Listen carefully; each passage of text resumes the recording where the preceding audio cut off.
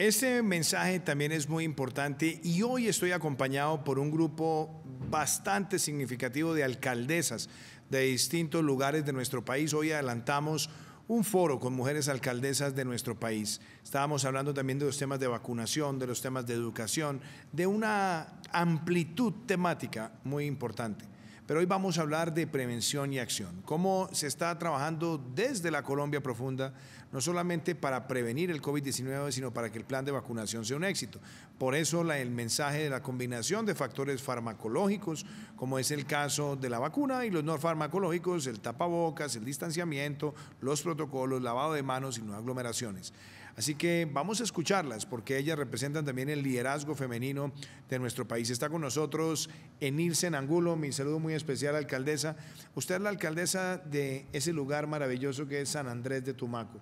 La hemos visitado en varias ocasiones, estamos trabajando proyectos productivos, tenemos una de las plataformas de Zonas Futuro, estamos también avanzando con esa conexión tan importante con el Ecuador, que es la que va a comunicar eh, a través del río Mataje que es La Espriella, Río Mataje, una vía muy importante, alcaldesa, y usted está liderando este proceso de vacunación, pero al mismo tiempo ha hecho una labor pedagógica para que la ciudadanía se cuide. ¿Por qué no le comparte a los colombianos cómo avanza San Andrés de Tumaco en estos propósitos de vacunación, pero al mismo tiempo de reactivación segura?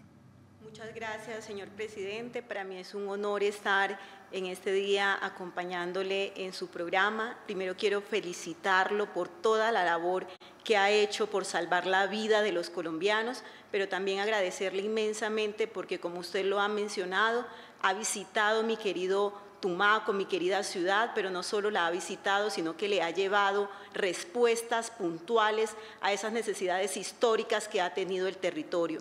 En primer lugar, estuvo todo el gobierno de la mano con su alcaldesa atendiendo la situación que vivimos el año anterior, que claramente fue fuerte, pero con todo el apoyo y el liderazgo de usted, señor presidente, del ministro de Salud, logramos tener 15 camas UCI después de no tener ninguna.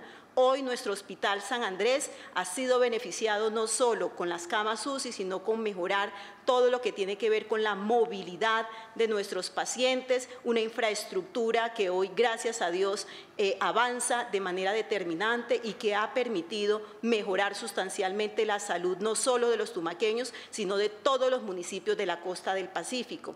De la misma manera, somos bendecidos porque ya nos han llegado en dos oportunidades las dosis de vacunación, el cual lo estamos atendiendo con toda la responsabilidad y hemos vacunado a más de 1.500 personas entre nuestros adultos mayores y las personas de, eh, de salud.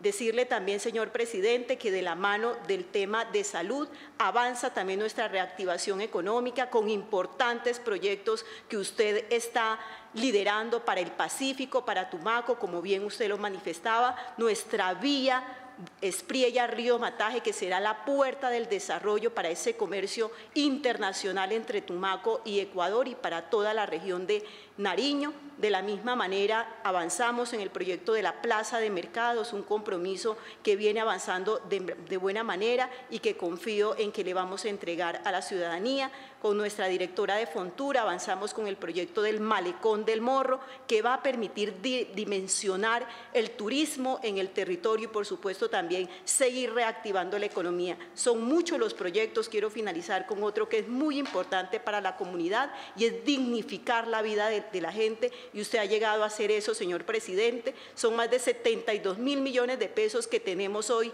en cinco obras en lo que tiene que ver con el acueducto, el plan maestro de acueducto para la zona urbana del distrito de Tumaco, entre otros beneficios como zonas futuros, que viene haciendo una gran inversión especialmente en la zona rural. Por lo tanto, señor presidente, todo mi respeto, toda mi admiración, todo mi apoyo desde el distrito de Tumaco y la ciudadanía conoce de su gran entereza, de su gran trabajo y solo le pedimos a Dios que lo bendiga, que le siga dando esa sabiduría para enfrentar toda esta situación que le ha dado a usted, porque era usted el que tenía que enfrentarla, porque tiene la capacidad, el conocimiento y sobre todo la bendición de Dios. Muchas gracias, señor presidente. gracias, alcaldesa, por esas generosas palabras y sabe nuestro compromiso con San Andrés de Tumaco. Así que allá seguiremos acompañándola y visitándola.